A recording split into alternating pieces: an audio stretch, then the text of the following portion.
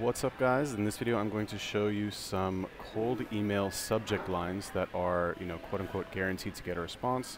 Maybe that's a big claim, right? Okay, obviously they're not guaranteed to get a response, but like, you know, you'll probably get a response if you use these as opposed to like if you use some cold email subject line that like has whatever is not one of these, right? Um, so this is actually a document that I have that I'm giving away for free with a course that I'm selling on cold emailing. So if you guys are interested in like a full-on step-by-step course on how to send a cold email so you can get clients, I'll put a link to the to that in the description. That's like very condensed. It's like, you know, step by step. I mean, you could piece it together from all of my like free YouTube videos for sure, no doubt. You don't actually have to buy it. But if you want to buy it, you want all these extras, you know, it's there. Okay, so let's just pick one of these randomly. All right, how about this? Hoping you can help, you know. When somebody sees this as the title, like it's going to get them interested, right? The whole idea with cold email subject lines is that you want to be vague, right? You don't want to like I mean, actually there's two approaches, right?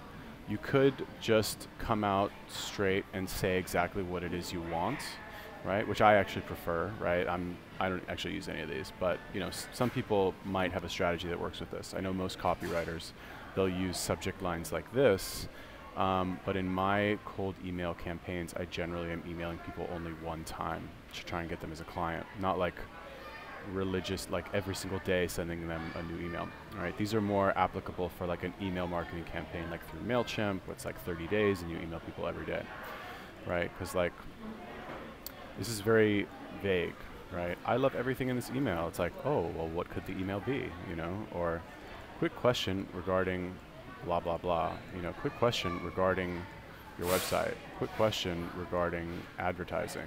Quick question regarding if you're emailing like a certain niche, cars, if it's like car salesman or something. Um, what else we got in here?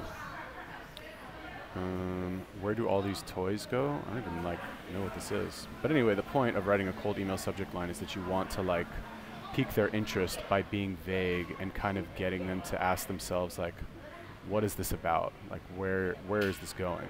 You know. Um, yeah, now that's one way to do it. What I actually personally like to do, I don't like to do all that. I just like like this is an example of one of my cold email subject lines, right? Let me manage your Facebook ads for free like this is not I guess it could like you could say also that it like sparks their interest, but there's no like a question as to what this is about. Like it's very obvious. This is like I want to manage their Facebook ads. Like there's no, you know. So if they're interested in this, then they'll open the email and they'll read it, right? And that's why I like to do it because I don't want to waste my time with people who like just opened an email just because the subject line was clever. All right, but that's just me. You know, like I guess you could say that like whatever you get to whatever, however you get them to open the email, is good. You know, so it depends on what what side of the fence you're on. I know maybe my opinion is probably a little bit different than most like internet marketers out there.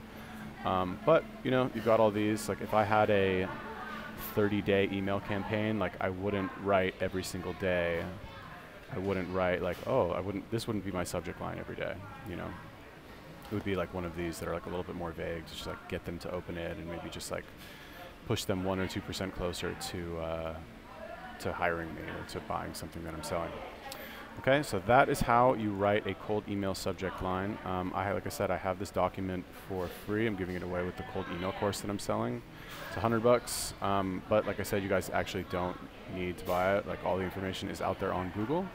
Um, but if you want, it's all condensed in like one place, so you can have like step-by-step instructions on what to do, how to write the subject line, how to write the introduction, and all that stuff.